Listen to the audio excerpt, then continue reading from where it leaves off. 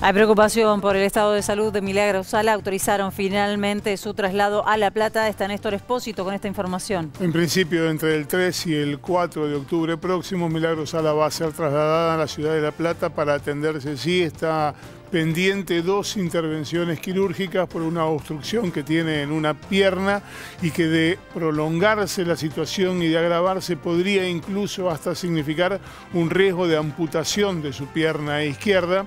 Hoy finalmente obtuvo el permiso de un juez de control de Jujuy para venir a atenderse aquí. Estará internada en principio entre dos y tres semanas y después deberá permanecer también en la capital de la provincia de Buenos Aires con un tratamiento ambulatorio para recuperar su delicado estado de salud. Bien, Néstor, estamos en comunicación con Alejandra Cejas, quien es la abogada que representa hoy a Milagro Sala. ¿Cómo estás, Alejandra? Buenas tardes, gracias por recibirnos.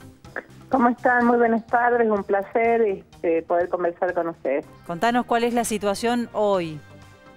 Bueno, hoy finalmente el juez de control, el doctor Catán, eh, hizo lugar al pedido que veníamos ya solicitando del mes de diciembre del 2022 por este cuadro que tiene milagros en relación a la trombosis que, que se generó en junio del año de julio del año 2022 y que le ha generado tantos dolores de cabeza y que en estas últimas tres semanas ya, implica este, el malestar generalizado porque bueno hay órganos que ya están fallando y la verdad que estamos en una situación muy compleja de hecho la audiencia hoy se realiza con fines humanitarios por la cuestión de salud y en ese carácter solamente se debatió la situación de, de la autorización y por supuesto los aspectos más relevantes del traslado fuera de la jurisdicción de la provincia de Jujuy.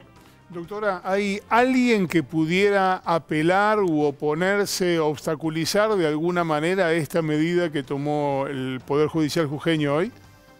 No, no, no, no, no, eh, de poder hacerlo lo pueden hacer, pero hoy este, ni la Fiscalía se atrevió a, a no acompañar el pedido porque, a ver, la ley de ejecución penal es clara en cuanto a los derechos de la salud de, quienes están bajo la tutela judicial por una condena, como es el caso de Milagro, y de hecho el Estado debería, el Estado de Jujuy debería haberse hecho cargo hace rato de tanto el traslado, de los costos, no lo hice, no lo va a hacer ahora, pero lo mínimo que se les ha pedido ha sido la autorización.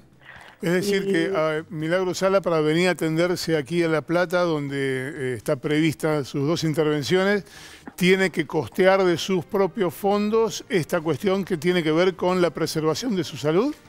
Sí, sí, sí, así es.